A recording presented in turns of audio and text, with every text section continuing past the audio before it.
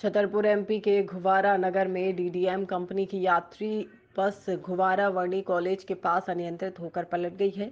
आपको बता दें कि गनीमत ये रही कि इस बस में कोई यात्री सफ़र नहीं कर रहे थे। यात्री बस पेट्रोल पंप से बस स्टैंड के लिए रवाना हुई थी, जो छतरपुर जानी थी। फ़िलहाल कोई जनहानि सामने नहीं आई है। सूत्रों की माने तो बस को क्लीनर चलाकर बस स्टैंड ले जा रहा था, लेकिन घुवारा के वर्णी कॉलेज के पास ये हादसा हो गया।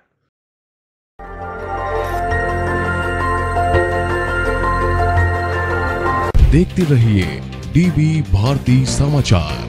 नज़र हर खबर पर।